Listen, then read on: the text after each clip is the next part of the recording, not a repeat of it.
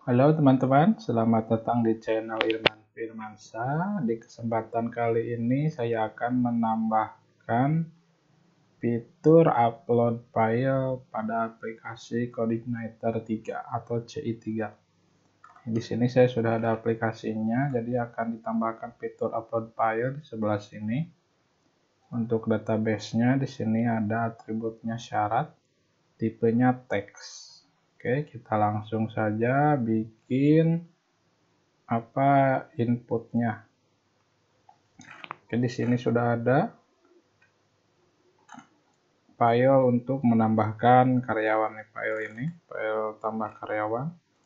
Di sini pastikan dulu formnya multipart. Nah, yang ini.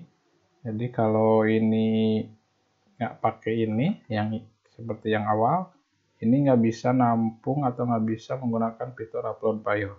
Jadi untuk menggunakan fitur upload file harus form opennya multipath. Di sini saya formnya menggunakan helper form dari CI-nya. Kalau misalkan teman-teman menggunakan form biasa seperti ini. Seperti ini mungkin ya. Ini actionnya terus kalau di POM biasa menggunakan type multipath POM data nah, seperti ini. Jadi kalau teman-teman menggunakan POM yang biasa, tambahkan ini. Kalau menggunakan helper POM dari CI, bisa menggunakan POM open multipath. Oke, untuk POM-nya sudah, sekarang tambahkan. Oke, di bagian sini saya akan copy dan paste di bawah. Untuk ininya diganti jadi input type-nya file. Name-nya nah name-nya. Kita akan menggunakan default dari bawaan CI untuk upload filenya. Jadi kita kasih nama user file. Sebetulnya ini bebas bisa teman-teman menggunakan nama apa saja tapi nantinya di script upload filenya kita akan menggunakan default bawaan CI jadi namanya user file. Kelasnya kita gunakan kelas bootstrap form control. Terus sudah sepertinya ini untuk errornya user file. Kita lihat. Nah di sini sudah ada formnya Selanjutnya kita tambahkan di controller. Oh yang ini di view ya. Jadi ini tampilan di view-nya. Sekarang kalau di modelnya enggak. Di modelnya karena script insertnya seperti ini menggunakan parameter jadi nggak perlu ditambahkan. Sekarang di bagian controller. Nah di bagian controller kita akan membuat fungsi baru untuk validasi filenya kita buat public function validasi file. Ini nama ini bebas bisa teman-teman gunakan yang mana saja. Saya gunakan validasi file. Oke untuk scriptnya.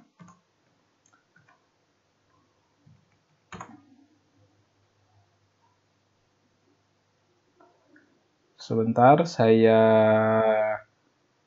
pause dulu videonya. Saya harus nyontek dulu ke script yang sudah ada karena saya nggak ingat. Oke, untuk config-nya kita butuh config. Kita search saja di Google config upload file coordinator. Oke, ini form. Nah, seperti yang saya tadi lakukan, ini form open multipath ini namanya user file. Di controllernya nah kita butuh config ini. Config ini untuk upload fat kita gunakan load type message juga kita gunakan kita copy pindahin ke sini. Yang ini isinya folder dari file yang akan disimpan Nah, ini saya bikin folder republic. Isinya file. jadi nanti file hasil uploadnya ditampung ke folder file ini. Kita ganti public file. Nah seperti ini. Jadi di sini nanti akan masuk. Kemudian ini tipe yang diizinkan. Ada zip jpg png. Ini kalau image karena di sini saya uploadnya bisa semua file jadi kita rubah bintang. Kemudian size-nya saya ini dalam bentuk apa kilobyte kalau nggak salah ya. Jadi kalau 2 MB 2048 nah ini 2 MB jadi size yang di limit 2 MB kemudian kita cek ini library-nya kita load nah di sini. Library upload-nya kita log dengan config yang sudah kita set sebelumnya. Oke lanjut. Do upload. Oke sekarang do uploadnya. If. This upload itu bukan ya benar do upload nah yang ini nama filenya kalau dicek ntar ini error Nah, kalau dicek itu do upload ini in, menerima inputan file dengan nama defaultnya user file. Jadi itu tadi yang saya lakukan di sini namanya user file. Jadi di sininya biar langsung kebaca. Kalau misalkan di sini teman-teman menggunakan nama misalkan nah apa gambar atau syarat Nah, berarti di bagian do upload ini juga harus menggunakan nama syarat. Nah, seperti itu. Karena di sini saya menggunakan user file, maka di bagian sininya nggak perlu pakai parameter tambahan. Oke, karena di sini pakai not, jadi menampilkan error. Kalau saya kalau sukses, jadi if setelah file diupload dan sukses, maka tampilkan sukses. Kalau enggak, tampilkan error.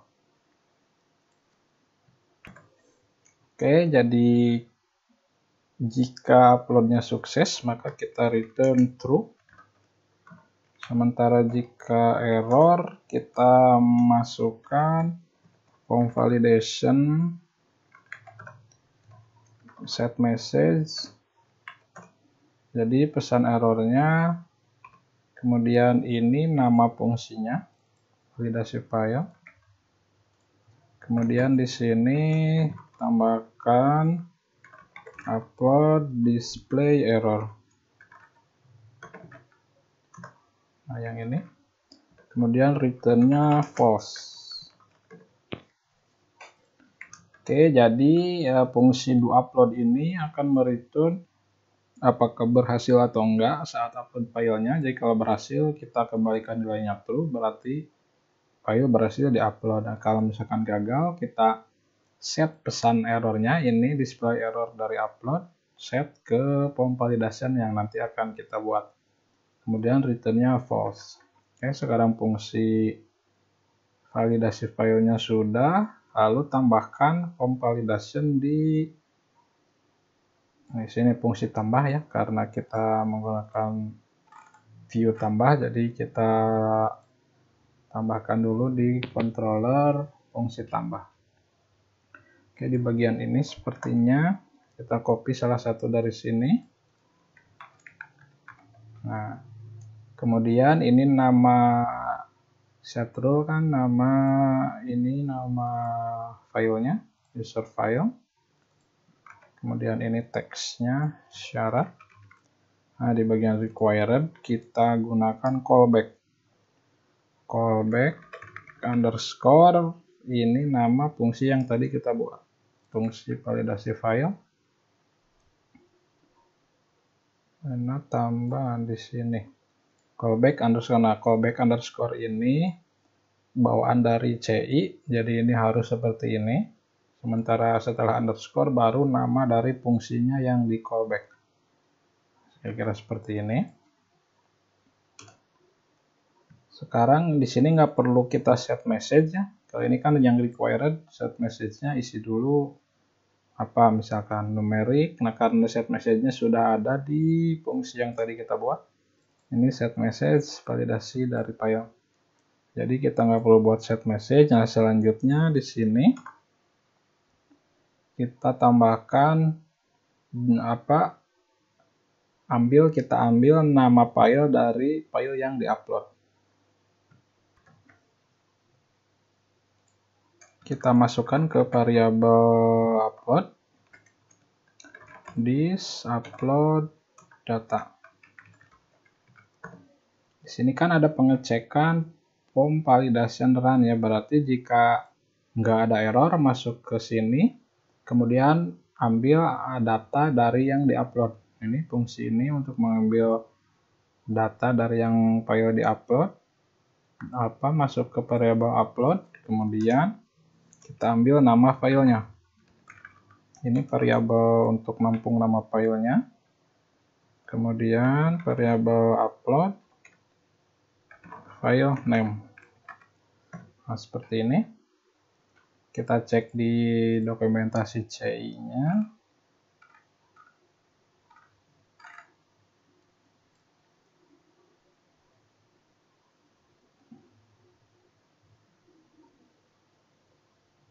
harusnya ya seperti itu.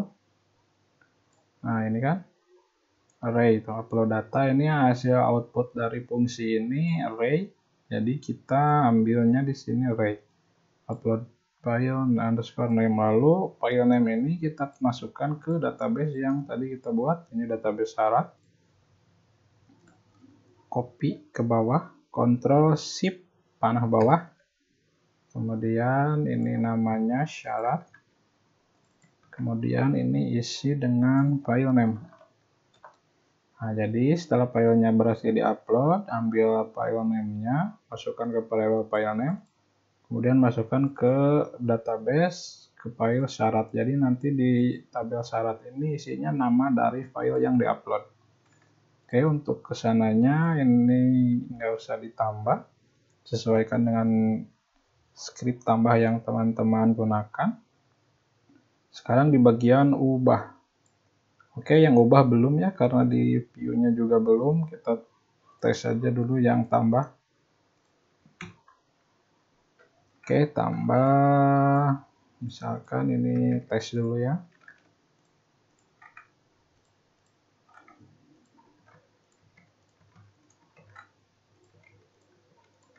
Oke, syaratnya ya kita coba kosongkan dulu.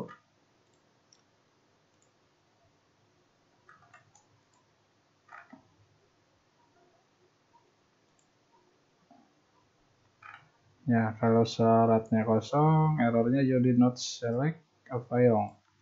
Kemudian kita isi filenya.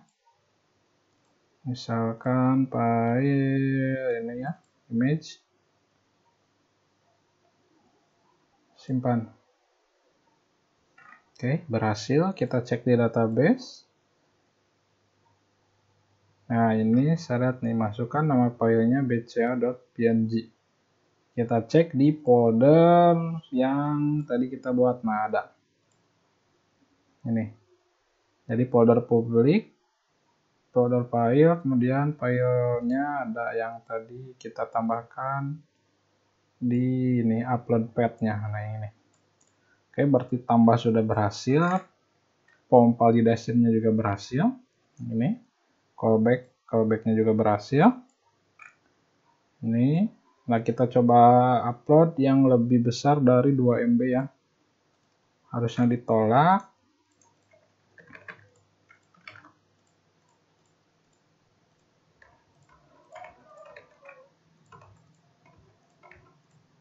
Oke, kita tes dengan filenya yang gede. Ini nih ada 7 MB. Simpan dan ditolak. Filenya lebih besar dari yang bisa apa disyaratkan atau yang di ini kan 2 MB max-nya. oh iya ketinggalan override-nya config override false nah over override override ya override nah jadi config ini untuk memastikan nggak ada file yang ditimpa. Jadi kalau misalkan kita sini kan sudah ada bca.png kemudian kita upload lagi file dengan nama bca.png karena di sini override-nya false jadi nanti filenya nggak ketimpa. Jadi akan ada angka di belakangnya misalkan BCA1, BCA2, BCA3 jadi aman kalau misalkan ini defaultnya true. Jadi nanti ketimpa file yang diuploadnya. Oke yang tambah sudah sekarang yang ubah. Untuk yang ubah kita copy ini. Kemudian tambahkan di view ubah. Ini jangan lupa pem opennya pakai multipath oke di sini nah di syarat ini di pom ubahnya kita akan menampilkan jadi kalau misalkan filenya ada bisa dilihat. Kalau nggak ada bisa diupload. Kita coba ya. If ini pakai karyawan nah, okay.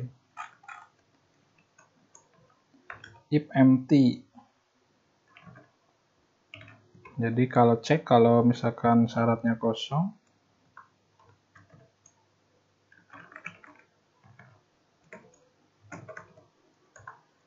yes.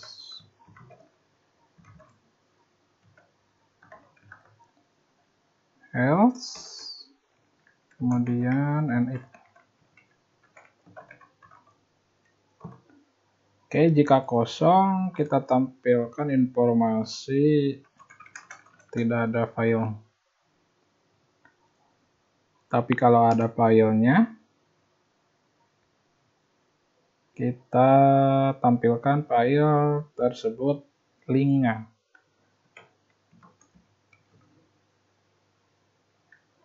Anchor kita gunakan fungsi dari CI anchor ini nama apa ya ini atributnya anchor oh, URL nya berarti URL ke public yang ini filenya public file nama file. URL nya public file ini nama file. Nama filenya kita ngambil dari variabel karyawan. Kemudian titelnya parameter kedua isinya titel download. Nah kita gituin aja. Kemudian variabel parameter ketiga atribut. Atributnya targetnya blank.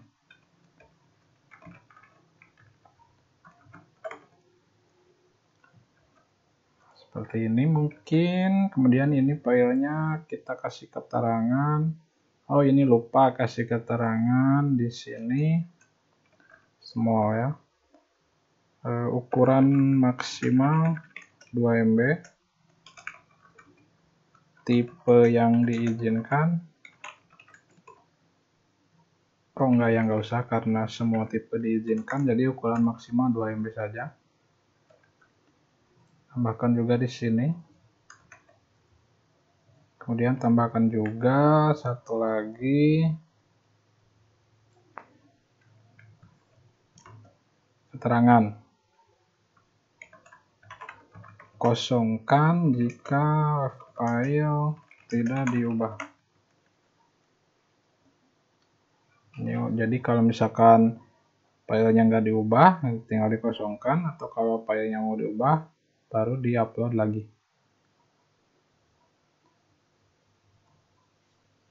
Oke mungkin dari view-nya udah. Sekarang dari controllernya ini kita akan menggunakan validasi file yang kita buat tadi kemudian diubah nah di sini nah di sini karena tadi ada pengecekan kosongkan jika file tidak diubah, maka di sini harus dicek apakah filenya diupload atau enggak. Karena kalau yang tadi di proses tambah, kita nggak gunakan pengecekan karena pengecekannya harus diisi, jadi filenya harus diupload. Sementara di form ubah ini, apa di fungsi ubah ini, filenya itu bisa diupload dan bisa enggak. Jadi kita harus cek dulu apakah filenya diupload atau enggak. Oke, untuk pengecekannya kita buat variabel user file. Kemudian cek is set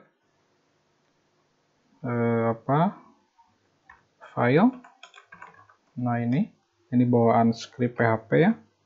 Oh bukan pakai array. File ini namanya user file. Kemudian satu lagi name.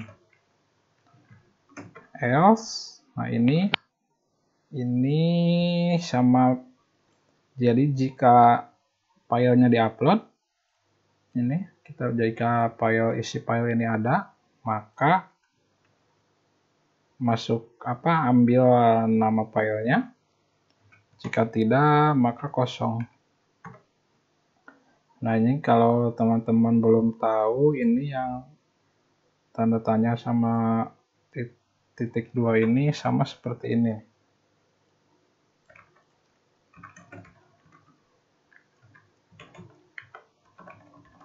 Nah, sama seperti ini.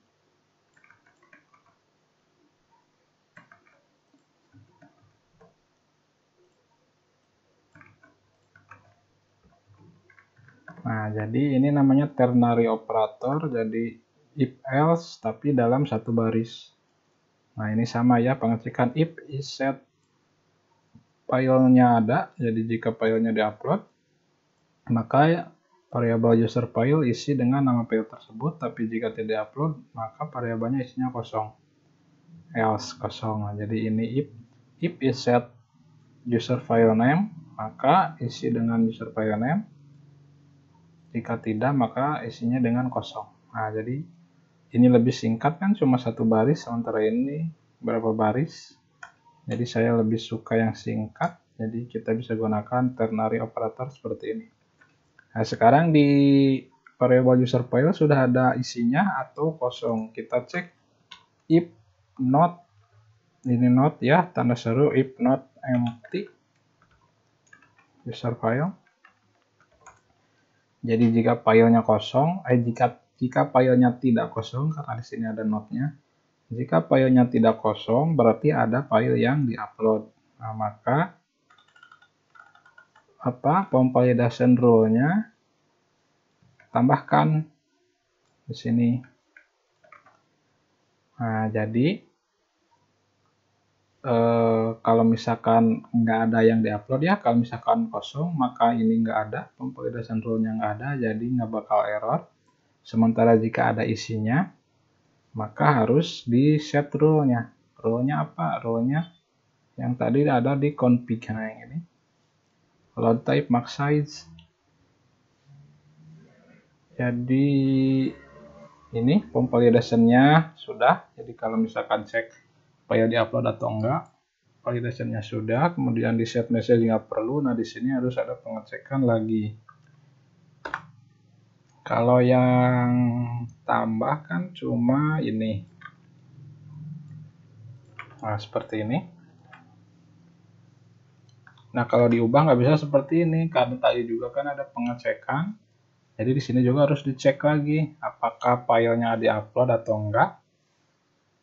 Kita gunakan lagi yang ini.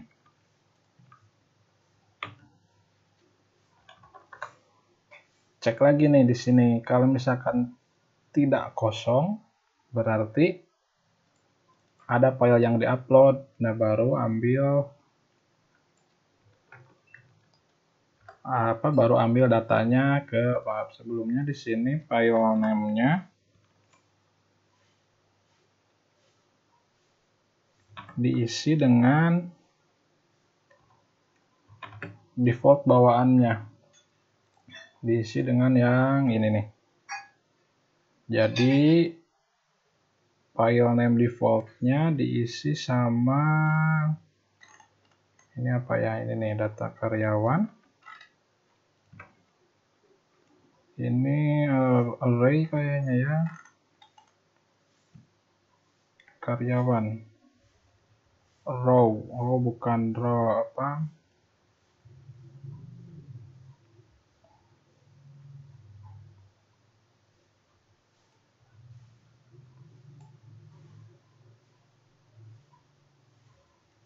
Jadi data karyawannya sebentar.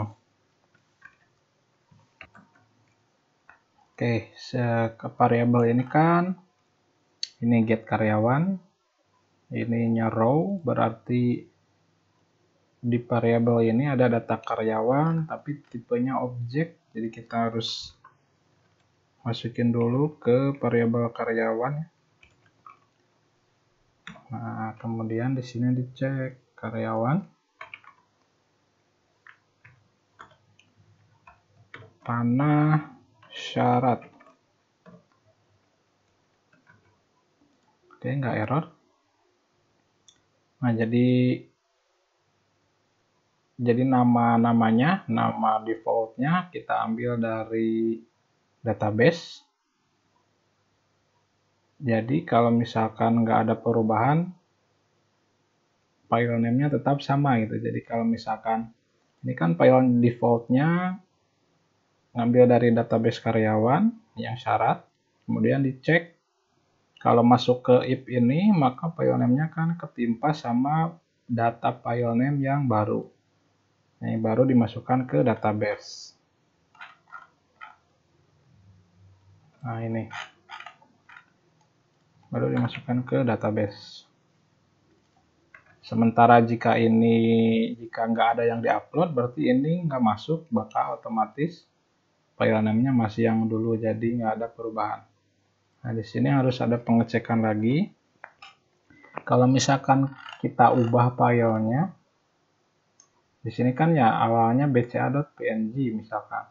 Kemudian kita ubah jadi mandiri.png. ya. jadi file yang ini harus dihapus dulu, baru dimasukin file yang baru. Nah, kalau nggak gitu, akan numpuk terus ini file ini. Jadi misalkan di sini bca.png kemudian diubah jadi mandiri yang ini enggak dihapus nanti akan mubazir ya itunya apa size hostingnya itu nanti. Jadi di sini ada baiknya harus dihapus dulu file yang lamanya.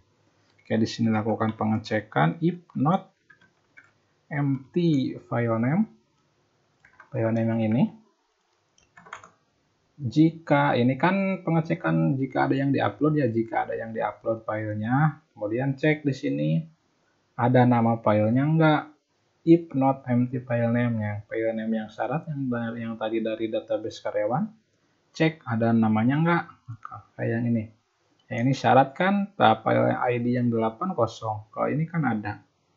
Nah, jadi di sini cek cek nih file name-nya defaultnya ada isinya enggak. Kalau kalau ada isinya, ini kan if not empty berarti ada isinya maka hapus dulu file tersebut. Kita bisa gunakan unlink. Kemudian ini atributnya. Bukan atribut. Directory filenya.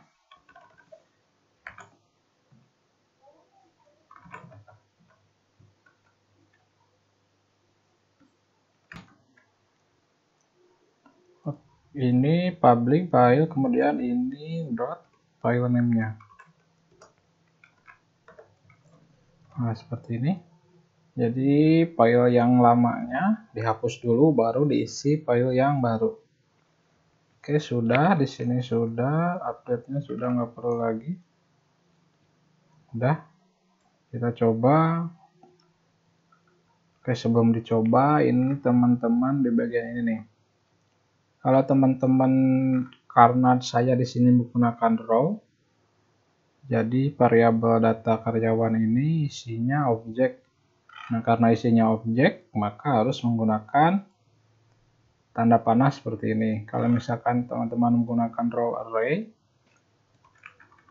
seperti ini, maka teman-teman nggak perlu dimasukkan ke sini langsung saja seperti ini.